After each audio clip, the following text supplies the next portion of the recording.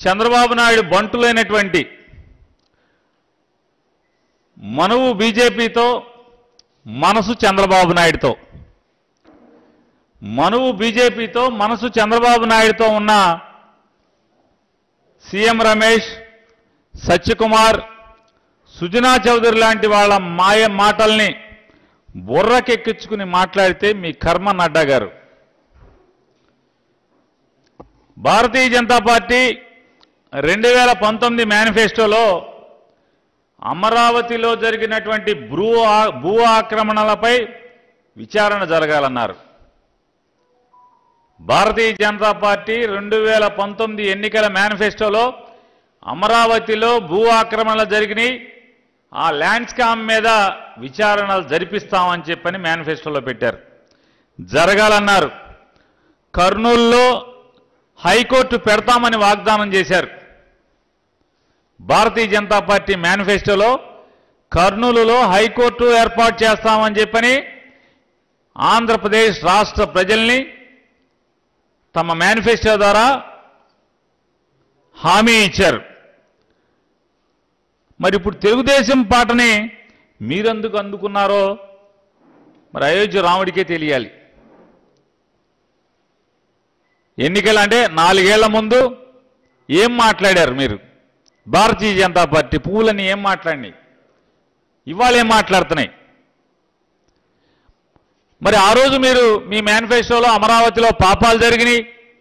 మేమిచ్చిన డబ్బులన్నీ చంద్రబాబు తినేశాడని చెప్పని మాట్లాడినటువంటి మీరు రాజధాని కట్టుకోరా బాబు అని చెప్పని బోళ్ళని డబ్బులు ఇచ్చాం ఆ డబ్బులన్నీ గేదం వేసేసినట్టు మేసేశాడని చెప్పని మీరే మాట్లాడి ఇవాళ అమరావతిని మేము బలపరుస్తున్నామంటే మరి అమరావతిలో జరిగిన పాపాలన్నిటికీ బాధ్యులెవరు? ఇంకా మాట్లాడతాడు పాపం. అడ్డంగా ఉన్న నడ్డా గారు ఆంధ్రప్రదేశ్లో శాండ్ స్కామ్ అంట. శాండ్ స్కామ్ ఏంటి అంటే ఈ మీ కథ చూడండి నడ్డా గారు. నడ్డాజీ రెండు వేల పద్నాలుగు నుంచి రెండు వేల పంతొమ్మిది దాకా తెలుగుదేశం పార్టీ భారతీయ జనతా పార్టీ రెండూ కలిసి ఆంధ్రప్రదేశ్ రాష్ట్రాన్ని ఏలిన మాట వాస్తవం. మీరు ఏలేరు కదా? ఇక్కడ ఆంధ్రప్రదేశ్లో గవర్నమెంట్ నడిపారు కదా? మీ ప్రభుత్వంలో భారతీయ జనతా పార్టీ తెలుగుదేశం కలిసి వెళ్ళినటువంటి ప్రభుత్వంలో ఇసుక ఫ్రీ అన్నారు. ఇసుక ఫ్రీ ఫ్రీ పేరుతో ఆంధ్రప్రదేశ్ నదుల్లో ఉన్నటువంటి ఇసుకనంతా కూడా బీజేపీ టీడీపీ పెద్దలందరూ కూడా దోచుకున్నారు. ఇద్దరూ కలిసి మిద్దెల మీద మిద్దెలు కట్టుకున్నారు. ఓడల్లాంటి కారుల్లో తిరిగారు. ఇవాళ జగన్మోహన్ రెడ్డి గారి ప్రభుత్వం మా ప్రభుత్వం ఈ నాలుగు సంవత్సరాల్లో ఇసుక ద్వారా ప్రభుత్వానికి వచ్చినటువంటి రాబడి నాలుగు వేల కో- ఐదేళ్ళలో వచ్చేటువంటి రాబడి నాలుగు వేల కోట్ల రూపాయలు. ఆంధ్రప్రదేశ్ ప్రభుత్వంలో రెండు వేల పంతొమ్మిది నుంచి రెండు వేల ఇరవై నాలుగు దాకా ఆంధ్రప్రదేశ్ ప్రభుత్వానికి వచ్చేటువంటి రాబడి నాలుగు వేల కోట్ల రూపాయలు. మరి ఈ నాలుగు వేల కోట్ల రూపాయలు ఈ వేల కోట్ల రూపాయలు భారతీయ జనతా పార్టీ తెలుగుదేశం ప్రభుత్వంలో ఎవరి జేబులోకి వెళ్ళినాయి? జనాలకైతే ఫ్రీగా ఏమి ఇవ్వలేదు కదా. ట్రాన్స్పోర్ట్ ఖర్చులు తీసుకునే డబ్బులు తీసుకునే అమ్మారు కదా. లారీ ముప్పై వేలకు నలభై వేలకు అమ్మారు కదా. ఈ నాలుగు వేల కోట్లు ఎక్కడికి వెళ్ళినాయి? నడ్డాజీ బోలియే ఈ నాలుగు వేల కోట్లు ఎవరి జేబులోకి వెళ్ళినాయి? మీ జేబులోకి ఎంత వాళ్ళ జేబులోకి ఎంత? ఇవన్నీ నడ్డాకే తెలియాలి. ఎవడి జేబులోకి ఈ ఇసుక డబ్బులు వెళ్ళినాయో ఇసుక పాపం వెళ్ళిందో? ఇవాళ మేము ధైర్యంగా చెప్తాం ఇసుక మీద ఆంధ్రప్రదేశ్ ప్రజలకి ప్రభుత్వ ఆస్తిగా నాలుగు వేల కోట్ల రూపాయలు రాబడి వచ్చిందని. ఇక ఆయన మాట్లాడతాడు లిక్కర్ స్కామ్ అంట. ఎవడో చెవులో చెప్తాడు మాట్లాడతాడు. భారతీయ జనతా పార్టీ ఇక్కడ ప్రభుత్వాన్ని నడిపింది ఆంధ్రప్రదేశ్లో. ప్రభుత్వాన్ని నడిపితే కేవలం ఢిల్లీ రికమెండేషన్ అని చెప్పి ఆ రోజు చంద్రబాబు చెప్పాడు. ఢిల్లీ రికమెండేషన్తో ఒక మూడు నాలుగు కంపెనీలకి ఎనభై శాతం అమ్మకాలను కట్టబెట్టారు. ఆంధ్రప్రదేశ్ లిక్కర్ మొత్తం సేల్స్ అన్నీ కూడా ఒక మూడు నాలుగు కంపెనీలకు మాత్రమే ఐదేళ్ళలో ఎనభై శాతం అమ్మకాలని కట్టబెట్టారు. ఇవాళ మా ప్రభుత్వం ఇరవై కంపెనీలకి అందరికీ సమానంగా అమ్మకాలని ఇవ్వటం జరిగింది. మరి ఎవరిది స్కామ్ ఇది? లిక్కర్ స్కామ్ ఎవరిది?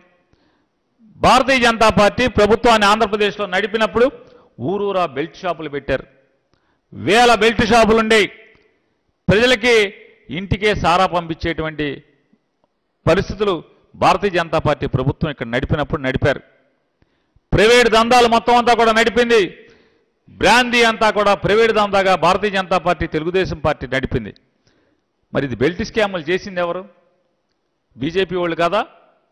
ఆంధ్రప్రదేశ్లో బీజేపీ టీడీపీ కలిసి కాదా బెల్ట్ స్కామ్లు చేసింది? మీ పాత్ర లేదా? మీ వాటా ఉంది కదా మీరు గవర్నమెంట్లో ఉన్నారు కదా. మా ప్రభుత్వం అమ్మకాలు తగ్గించాం రేట్లు పెంచాం ఆదాయాన్ని ప్రభుత్వానికి ఆ రాబడి ఆదాయాన్ని పెంచాం. ఆదాయం అంటే రాబడిని పెంచాం. అలాగైనా ల్యాండ్ స్కామ్ అంట నడ్డా మాట్లాడతాడు. Land scam. మీ నోటుతో మీరు రెండు వేల పంతొమ్మిదిలో అమరావతి ల్యాండ్ స్కామ్ అని చెప్పి మాట్లాడారు. అమరావతిని సమర్థిస్తున్నామంటున్నారు. ఆ రోజు ఎందుకు నోరు తెరిచి ల్యాండ్ స్కామ్ అమరావతి అన్నారు. అమరావతిలో అక్రమాలు జరిగినాయి అని చెప్పారు. మేము వేల కోట్ల డబ్బులు ఇస్తే చంద్రబాబు నాయుడు హల్వా తిన్నట్టు తినేశాడు. అక్కడ అమరావతిలో ఏమీ నిర్మాణాలు చేయలేదని చెప్పని ఆ రోజు మాట్లాడి. ఇవాళ అన్నీ మూసుకుని అమరావతిని ఎందుకు సమర్థిస్తున్నారు? ఏం జరిగింది? వెనకాల చీకట్లో ఏం జరిగింది? నడ్డాజీ ఏం జరిగింది? అసలు ల్యాండ్స్కేప్ ఏమన్నా ఉంది అంటే ఇటువంటి తప్పుడు ఆలోచన ఏదన్నా ఉంది అంటే విశాఖపట్నంలో అత్యంత విలువైన స్టీల్ ప్లాంట్ భూమి కోసం అత్యంత విలువైన స్టీల్ ప్లాంట్ భూమి కోసం విశాఖ ఉక్కును అమ్మే ప్రయత్నం దానిలో ఉంటే ల్యాండ్ స్కామ్ దానిలో ఉంటుంది. విలువైన భూమి కోసం అత్యంత విలువైనటువంటి భూమి కోసం విశాఖ ఉక్కుని పేక్కోసేటువంటి ప్రయత్నం చేయటం ఏమైనా ఉంటే గింటే ల్యాండ్ స్కాము తప్పుడు ఆలోచన దాంట్లో ఉంటుంది. అది కదా ఈ ఆంధ్రప్రదేశ్లో ఏమన్నా తప్పుడు ఆలోచనతో ల్యాండ్ స్కామ్ ఏమన్నా చేయబోతున్నదంటే అది కదా. విశాఖ ఉక్కు పేక్కోసి ఆ భూమి మీద కన్నేయటం కదా ల్యాండ్ స్కామ్ అంటే.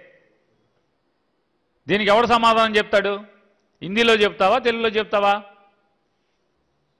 ఇవన్నీ అక్కడి నుంచి ఇక్కడికి వచ్చి ఎవడో తప్పుడు మాటలు చెప్పుడు మాటలు చెవులో చెప్తే అవి బట్టి బట్టి అవి చెప్పడం కాదు. ఒక బాధ్యత గల పార్టీ అధ్యక్షుడిగా ఉంటే ఢిల్లీలో విపక్షాలు అనేక ఆరోపణలు చేస్తున్నాయి. పార్లమెంట్లో మోత మోగిస్తున్నాయి. అనేక విపక్షాలు కేంద్ర ప్రభుత్వం మీద అనేక అస్త్రాలు సంధిస్తున్నాయి ఆరోపణలు చేస్తున్నాయి. నీకు చేతనైతే ఓ నడ్డా గారు నీకు చేతనైతే ఢిల్లీలో కూర్చొని వాటికి సమాధానాలు చెప్పు. వాటికి సమాధానాలు చెప్పకుండా ఇక్కడికి వచ్చి తగుదనమ్మా అని మనసేమో చంద్రబాబు దగ్గర ఉంటుంది. తాళిబొట్టేమో నీతో కట్టించుకుంటారు పెళ్ళేమో నీతో చేసుకుంటారు మనువు నీతో. ఇట్లాంటి పచ్చ పువ్వులు చెప్పుడు మాటలు చెవులతో విని పాఠం అప్పచెప్దామని చెప్పిన ఆ పాఠం అప్పచెప్పినట్టు చెప్పటం మాని ఢిల్లీలో విపక్షాలకి మీ కేంద్ర ప్రభుత్వం మీద వచ్చినటువంటి ఆరోపణల్ని సమాధానం జాగ్రత్తగా చెప్పుకుంటే మీ ఆరోగ్యానికి బాగుంటుంది రాజకీయానికి మీ రాజకీయానికి బాగుంటుందని చెప్పి నడ్డాకు చెప్తూ నిన్న కాక మనం చూసాం బెంగళూరులో. యమ మేత మేశారని చెప్పని ఎరగదీసి తిడ్డు కాల్చి వాత పెట్టినటువంటి పరిస్థితులు మనం చూసాం దక్షిణాదిన.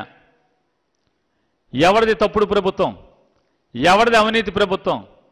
బెంగళూరులో మీది కాదా అవినీతి ప్రభుత్వం? జనం ఊసిన ప్రభుత్వం మీది కాదా? ఇవాళ ఏతావాత ఏంటయ్యా పరిస్థితి అంటే పచ్చ పువ్వులతో నిండినటువంటి ఆంధ్రప్రదేశ్ భారతీయ జనతా పార్టీ పచ్చ పువ్వులతో నిండిపోయినటువంటి ఆంధ్రప్రదేశ్ భారతీయ జనతా పార్టీ ఏ స్థితిలో ఉందంటే టీ బీజేపీ కాస్త టీజేపీగా రూపాంతరం చెందిన పరిస్థితుల్ని జాగ్రత్తగా మీరు కలుపు తీసుకుంటే తప్పితే మీ జాతీయ జనతా పార్టీ ఎన్ని జన్మలెత్తినా కూడా ఈ ఆంధ్రప్రదేశ్ రాష్ట్రంలో ఒక ఎమ్మెల్యే సీటు కూడా గెలిచే పరిస్థితులు ఉండవనేది మీకు హితవు పలుకుతున్నాం ఒక సిబిఐ డైరెక్టర్ని మార్చడం కోసం ఆ ఫైల్ గీళ్ళు పట్టుకెళ్ళిపోతాడేమో అని చెప్పని ఆర్మీని దింపి హెలికాప్టర్లోంచి మామూలుగా ఇంగ్లీష్ సినిమాలో చూపించినట్టు తీసుకొచ్చినంత పరిస్థితులు ఎవడు చేశాడో? గవర్నమెంట్ పోగానే ఎత్తికెళ్ళి ఢిల్లీలో ఎవరిని పెట్టుకున్నామో? ఒక చోట గవర్నమెంట్ పోగానే అక్కడ దాకా మన చెప్పుడు మాటలిని ఎన్ని తప్పులు చేసిన వాడిని తీసుకెళ్ళి ఎక్కడ పెట్టుకున్నామో? లేదో ఇవాళ సిబిఐ ఏ స్థితిలోకి వెళ్ళిపోయిందనేది భారతదేశంలో ఏ రాజకీయ పార్టీ వాడిని అడిగినా కూడా చెప్తాడు. భారతీయ జనతా పార్టీ వెళ్తున్న రాష్ట్రాల్లో మీరు ఏ రాష్ట్రం ఏలు పెట్టి చూపించండి. నిన్నగాక మొన్న లాండ్ ఆర్డర్ పరిస్థితులు ఉత్తర భారతదేశం ఈశాన్య భారతదేశంలో ఏమైంది? ఎవరి చెప్పు చేతల్లో ఉంది ఆ రాష్ట్రం? ఏం సిగ్గుపడమా మనం? ఇట్లాంటి మాటలు మాట్లాడతాకి ఇక్కడికి వచ్చి. అంటే ఏమనుకుంటున్నారంటే పిల్లి పాలు దొంగతనంగా తాగుతూ కళ్ళు మూసుకుని ఎవడు చూడలేదనుకున్న పరిస్థితిలో నడ్డా ఉన్నాడు. భారతీయ జనతా పార్టీ వెళ్తున్న రాష్ట్రాల్లో ఏ రకంగా హింస జరుగుతుంది? ఎంత హింస ప్రజ్వల్లుతుంది కళ్ళ కట్టినట్టు వాళ్ళ టీవీల్లో మనం చూస్తాం. మచ్చు తునక ఈశాన్య రాష్ట్రం కానీ ఉత్తరప్రదేశ్లో కానీ జరుగుతున్నటువంటిది. మధ్యప్రదేశ్లో ఎంత దారుణాలు జరుగుతున్నాయి. ఇవన్నీ ఎవడు సమానం చెప్తాడు? తగుదనమ్మా అని ఇవన్నీ చక్కబెట్టుకోకుండా ఇక్కడికి బయలుదేరి వచ్చి ఏదో పెద్ద మొత్తం వ్యవసాయం వేసేస్తున్నాడు ఇక్కడికి వచ్చి.